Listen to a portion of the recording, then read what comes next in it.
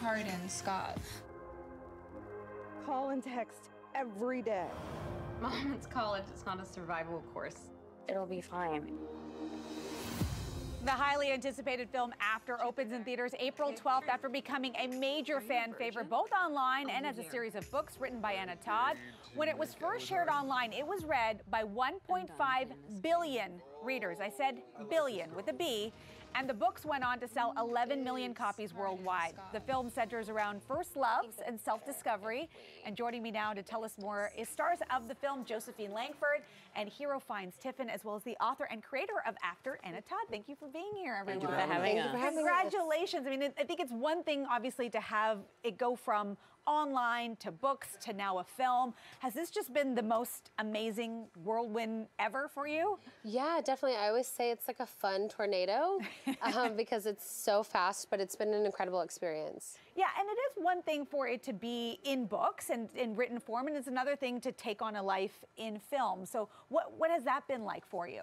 It's been a really great learning process. Taking the same story but putting it on a different medium of storytelling and adapting it has been really fun and just I've learned so much and had an amazing time. Now, when I talk about fans, and I, I said 1.5 billion, we're talking about the Afternators. That's their name. So, for you guys, when you signed on to the film, did you know anything about the books? Were you familiar with sort of the fandom that came with it? No, at the time that I first heard of it, I hadn't heard anything, um, and I was shocked. I, I must have been living under a rock because e- everyone else does. And um, yeah, Anna, Anna kind of warned us of the size of it, and I understood what she was saying, but I don't think I really, you know, I think I slightly underestimated it. But um, I've been pleas- pleasantly surprised with, with how supportive the fan base are. And, and I'm sure that when it came to casting, you looked at the both of them, and I mean, was it one of those things where you just you knew right away? Yeah, it was that movie magic thing that people kept talking about, but I was like, oh, that's not real. Um, but it was literally immediate, like within a minute for both of them. I was just like, that's it, we're done. Um, I don't know. And before that, it was such a long process where I started feeling like we're never going to find the right people.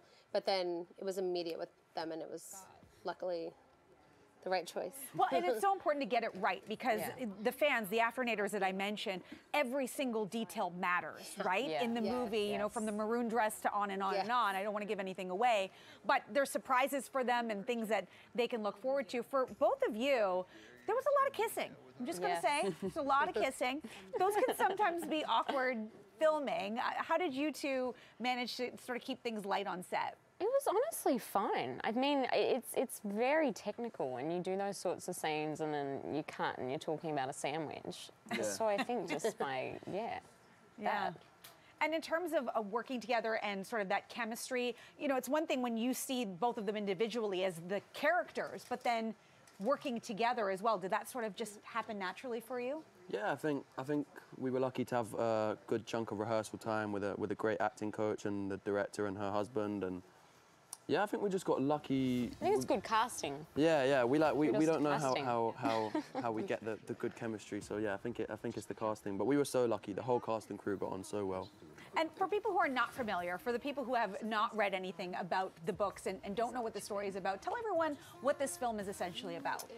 Um, the short version is about a girl named Tessa Young who is leaving her home for the first time.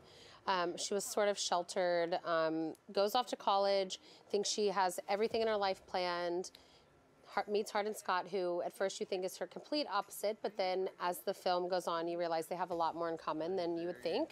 And their worlds just kind of get turned upside down by each other. And drama, drama, drama. And I can't say anything else because it'll spoil the movie, but that's the fast version of it. Yeah, and we don't want to give anything away, but with that, the fans are also wondering, are there going to be any more films? I mean, with with any of the other books? I mean, we hope so. It's up to them, really, and other people to see the movie. We would love to, and we're definitely planning on it. But it all comes down to the like realistic, technical stuff. Where, if people see the film, then we'll hopefully have sequels. And how are you dealing with sort of all of the hype around this? Because, you know, we've been told that everywhere that you go, the fans show up. And, you know, there's a lot of people are just so excited about Yeah. seeing this film. How have you been dealing with all of that? I think just day by day. I mean, we, we sort of had a slow introduction to it because when we started shooting, we had a few people show up at the hotel and stuff, and then it's just slowly increased and yeah, just day by day. We want to make sure everybody watches the film. It's out in theaters April 12th. Don't forget to watch after. Thank you so much for Thank joining you. us. Thanks so much. And you guys are going to blow up even more after this, so can't wait to have you back here on the show. Thank you so much. We'll be back. you.